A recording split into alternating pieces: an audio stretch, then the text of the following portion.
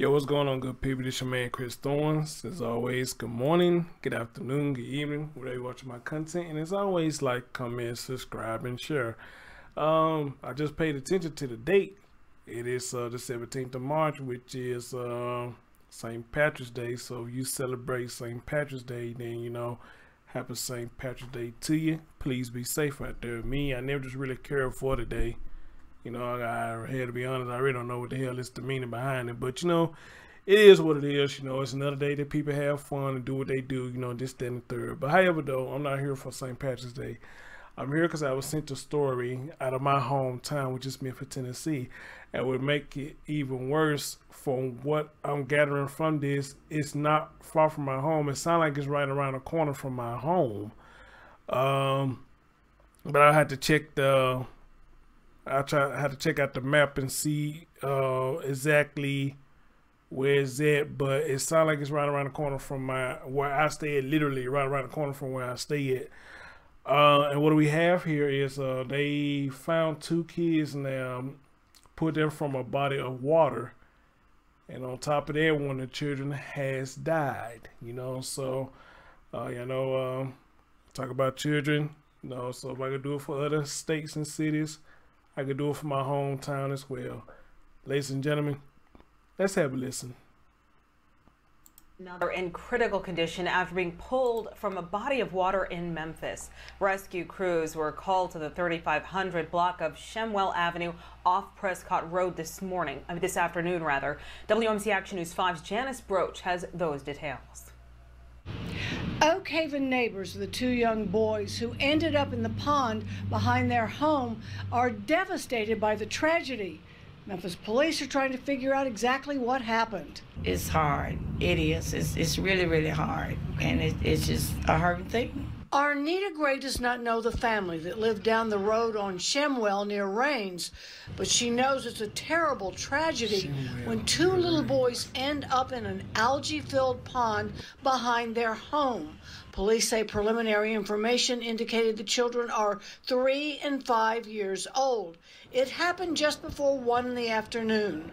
One neighbor who did not want to be identified saw first responders trying to save one child. I seen the fire department and the ambulance out here in the in the water. It was like two fire firemen in a boat, and it was like four or five of them. They was uh, in the water, standing like with their sticks and stuff, trying to see where he was at. He said it took about 30 minutes to find the child who did not survive. He was found in the middle of the pond. It took so long for them to find him. I'm knowing he was non-responsive. The neighbor did not see the rescue of the first child who was transported in critical condition to Le Bonheur Children's Hospital. The neighbor also wonders how the children ended up in the water. There does not appear to be much of a fence, if any, behind the children's home. But the man points out all of the brush and fallen trees you have to get across just to reach the water. And my heart is just with the family. And I'm just praying for the family. Neighbors say that pond has been behind the homes for a long time. They say maybe it's time it is filled in. Janice Broach, WMC Action News. All right, guys. Uh, Shemwell Road, Shemwell Road, um, off of Rains. I don't know exactly where they at. Hold on, give me a minute. Let me see if I can pull up the a map in that area. All right, sorry about that, guys. Uh, I got it pulled up. Um. One eight. That's my zip code. Um, it's right here, but I'm trying to see um how far is it from me.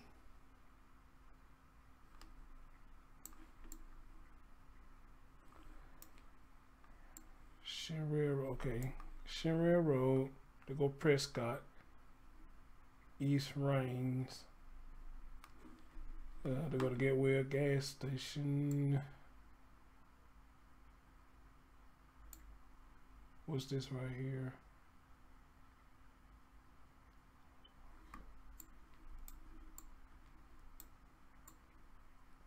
Holy shit, it is around the corner from me.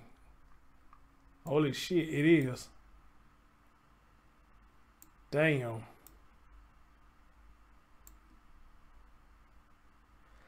All right, guys. Yeah, this this is right around the corner from me. It is. Oh wow! Holy shit. Uh, damn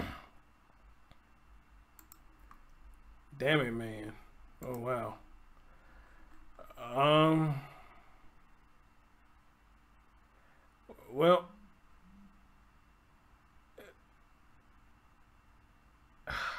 Let me see what this saying right here. Mm. Welcome to Oh, Circle, God. our authentic original. We have breaking news here at 5. Memphis police are investigating a deadly water accident involving two children. WMC Action News 5's Janice Broach joins us live with the latest. Janice?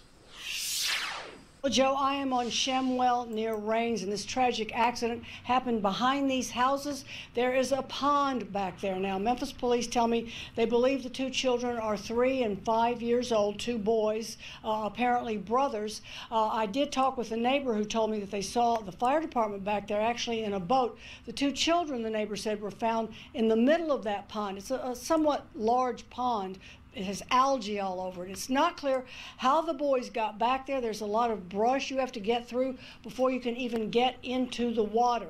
Uh, but this is obviously a tragic accident. One of the children drowned. The other child is at Le Bonheur. We're trying to get some more information from police to determine exactly what happened, and I will have that coming up at 10. Live in Oak Haven, Janice Broach, WMC Action News 5. You know, when you do this, uh, these stories, you know, it's kind of a little bit harder when it hits home. Um, and this shit really hit home. I mean, this shit is literally right around the corner from me. I don't know nothing about Shemwell Street. I don't recall ever being on this street. Um, one of the news clips that I had that people were saying that they, they didn't even know that this thing was behind there. You know, they didn't even notice, you know, so imagine that. So if that's the case that nobody knew that this pond was behind there, what got what got the children curious to go behind there? Then you know y'all just heard she say you know you got to get through a lot of stuff to get back there. You know, so this story. Oh God! Wow. Well, let me uh mute my phone. This story already has uh quite a few questions, and uh, one of my again one of my one of my questions is you know if it has been back there that long, you know, what made them go back there, you know, uh, or two, had they been back there before, you know, three, uh, who supervision was they under when this happened, uh, or four, last not least, did somebody purposely put them children back there? I don't, I don't know. Uh, hopefully the one that's in, uh, critical condition. They can get him into stable condition, and uh, he's able to uh, give information as to what may have happened, as to why they got led down there. You know, uh, wow, this is nuts. This is really nuts.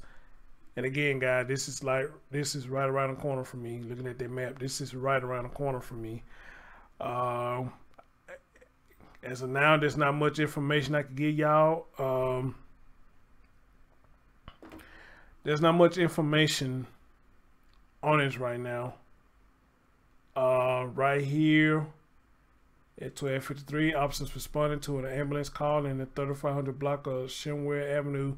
Two male juveniles were pulled from a nearby bottle of water. One was exported critical to Le Bonheur, and the second victim was exported critical but did not survive his injuries. Ladies and gentlemen, this story came yesterday. This was yesterday. Uh, as a matter of fact, I got sent this story right after I did the story about the guy who killed the people for the stimulus check. You know, it came to me then. Um, but here's another question. You know, uh, who noticed that that they was back there? Who who who found them back there? Um, Oak Haven neighbors of two young boys who ended up in the pond behind their home Tuesday are devastated by the tragedy. Memphis police are working to determine exactly what happened. It's it's hard. It's really really hard. It's just a hunting thing a hurting thing, excuse me. Anita Gray said, why did name sound familiar? Gray does not know the family that lived down the road on Shemwell near Rains, but she knows it is a terrible tragedy when two little boys end up in an algae filled pond behind their home. Police say preliminary information indicates the children are three and five years old. Three and five years old. Uh, one neighbor who did not want to be identified saw first responders trying to save one child. I saw the fire department, ambulance, and out here in the water. Uh, the five men in the boat, four or five of them in the water, standing about chest deep. He said it took about 30 minutes to find the child who did not survive. He was found in the middle of the pond. Oh, Jesus Christ. It took so long for them to find him. He he was non-responsive. He did not see the rescue of the first child who was transported in critical condition to Le Bonheur Children's Hospital. The neighbor also wonders how the children ended up in the water. Exactly. That's what I want to know. You know, how did they end up there, and who discovered it and was able to call 911? Who discovered it? Uh, there's, excuse me, there's there does not appear to be much of offense, if any, behind the children's home. But the main points, all of the brush and the fallen tree, you had to get through, making it difficult to reach the water. My heart is just, my heart is just with the family. Prayers for the family, he said. Neighbor said the pond has been behind the house for a long time. Excuse me. They say maybe it's time that it is filled in. Okay, guys. Uh, I will try my best to stay on top of the story, especially for people who are in Memphis. You know, I try my best to stay on top of the story. Or if you're somebody who stayed in my area or Memphis period, or stay on Shemwell Street and you see my video and you got a little more information you can add on to this, please hit me up bigcdt at gmail.com. Once again, that is bigcdt at gmail.com. If you got any more information about this, please, if you don't mind, share with me and uh, let's see what's going on with these uh, two young men, you know, and uh, hopefully the one that's in critical condition, hopefully he does survive. But uh, to the up to the updates, guys, you know, um, that's all I have about this story. Um, and another question too, I had, you know, how long did they stay at their house? That's another question too. How long did everybody stay at their house? And again, if they've been staying there for years, what made these young men go back there and uh what made them go back there you know so i i don't know you know so again guys not much to go on right now uh but i'll try to keep you updated as much as i can about this story and when any updates come up on your man chris thorns guys after hearing these stories i don't need to tell y'all for the team time Please be careful. Please monitor your children. Take care of yourself and take care of each other.